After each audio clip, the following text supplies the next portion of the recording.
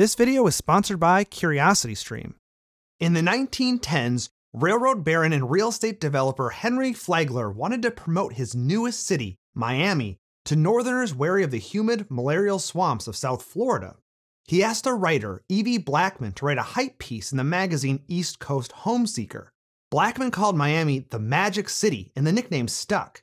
Since then, people have called Miami the Magic City because of how much it would change from one year to the next. Miami has over 300 high rises, one of the tallest skylines of any city, and it continues to grow. Miami may once again earn the Magic City nickname if it accomplishes what its mayor, Francis Suarez, hopes it can. He's pushing to make the city of Miami the new Silicon Valley, and some tech leaders and venture capitalists are listening. Mayor Suarez is promising low taxes, lax COVID restrictions, and a young, educated workforce. He's been tweeting with Elon Musk about building a boring company tunnel system, as ill advised as that is. Basically, there's a lot of hype around Miami right now, and some people think that the center of gravity in the tech world could shift from Northern California to South Florida. But is it actually possible? Could Miami be the leader in tech in the United States in 10 or 20 years, or maybe even a secondary hub? Let's answer those questions after the bike bell. I'm going to say this right away. It's going to be difficult for any city to dethrone Silicon Valley. Silicon Valley is what's known as an industry cluster, a potent mix of companies, investors, and institutional partners, all centered in one region. There are some notable industry clusters out there, the kind where all you have to do is say the name of the city and the industry comes to mind. For example, when I say Wall Street, you think finance. And if I say Hollywood, you think film and television. If I say Washington, D.C., you think government. And if I say Detroit, you think cars. Detroit is probably the only industry cluster in the United States to rival Silicon Valley, which may be the strongest industry cluster ever. Will we ever say Miami and think tech instead of the beach? Well, uh, Miami has a lot of catching up to do, that's for sure. To understand how strong of an industry cluster Silicon Valley is, we need to take a brief look at the history of the area. Why did a cluster spring up in the Santa Clara Valley? And is there anything Miami can learn from the past?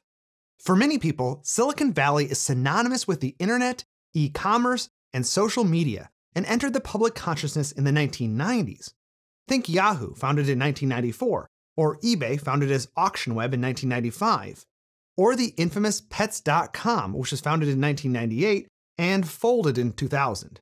Not even a cute sock puppet could save it. But Silicon Valley's origins go back much farther. It's tough to pick one date as the starting point.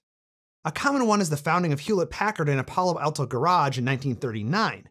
But I want to start at the inflection point in 1951, when Frederick Terman, the dean of Stanford University's School of Engineering, convinced Stanford and Palo Alto to found the Stanford Research Park, an industrial park dedicated to growing high technology firms. Stanford Research Park's 700 acres currently host offices for companies like HP, Tesla, and Lockheed Martin. Facebook once had its offices at the park. So by the early 1950s, the Valley had a university and office space for supporting tech companies. But sometimes you need a little bit of luck. And the Valley did catch a lucky break in 1956 when William Shockley, the co inventor of the transistor, moved to Palo Alto to take care of his ailing mother. He founded Shockley Semiconductor, one of the oldest silicon chip producers in the nation. In the years that followed, other companies and research institutes like Xerox PARC and Fairchild Semiconductor set up shop in the region, the Federal Research Center, the Lawrence Livermore National Laboratory, was founded in 1952 and brought thousands of scientists to the area. The economic growth of a city outpaces population growth because of the advantages of having customers, clients, firms, and investors all in one place. It comes down to transportation cost savings. It's just more efficient to do business with someone in the same city than it is with someone across the world. This remains true even in the era of the internet. Industry clusters are a form of specialized agglomeration effect. The concept of transportation cost savings includes the transportation of ideas and labor in the cluster.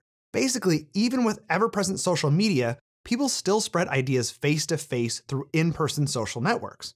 This idea and knowledge spreading makes those who work in the cluster better at what they do, and they can improve on ideas, making the cluster more competitive in the global marketplace. One key idea that Silicon Valley really nurtured was the concept of investors trading money for equity in early stage companies what we now call venture capital.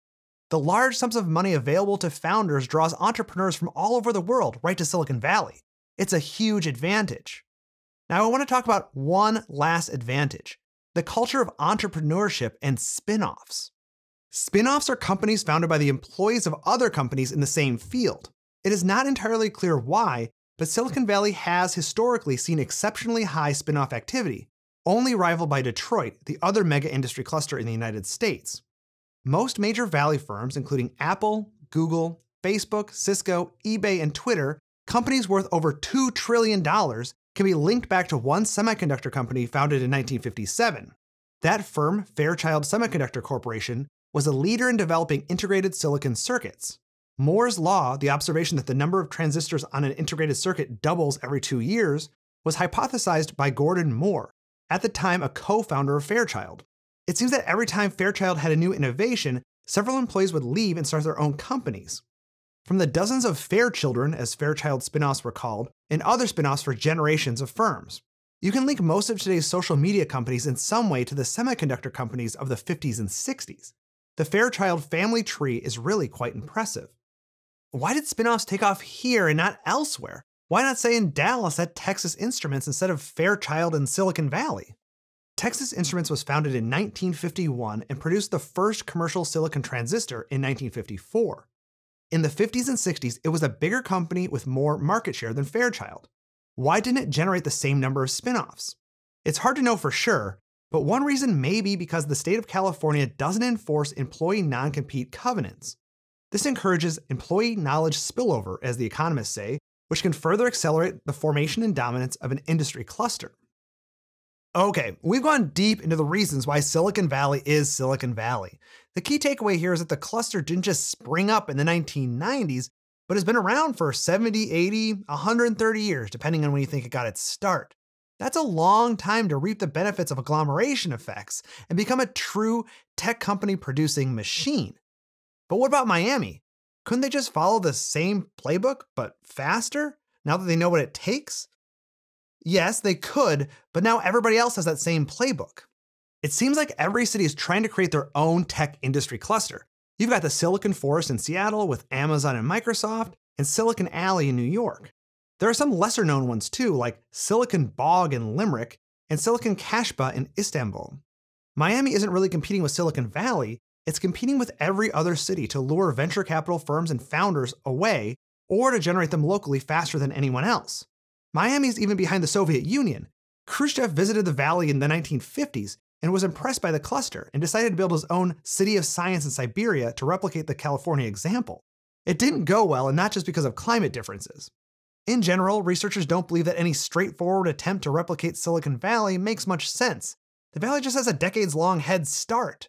Cities, states, and mm-hmm. countries that have tried to do this have largely been met with failure, and the ones that have had some success have done so thanks to the fundamentals of their economy, not any sort of public policy effort.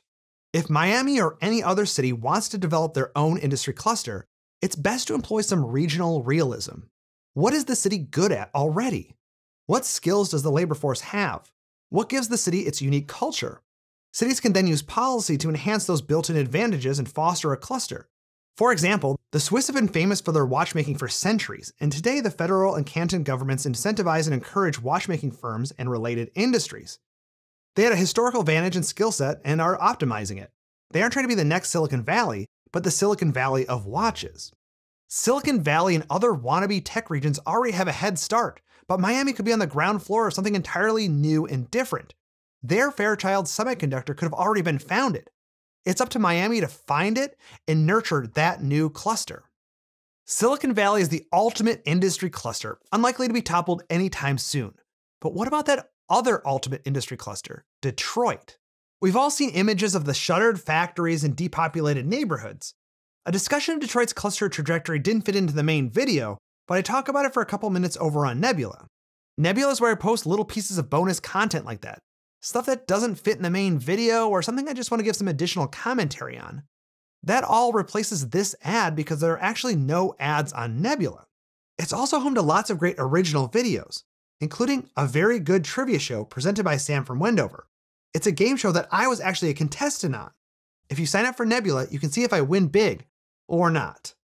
Nebula is great, and it's made even better thanks to our partnership with CuriosityStream. CuriosityStream is the source for high quality, engaging documentaries.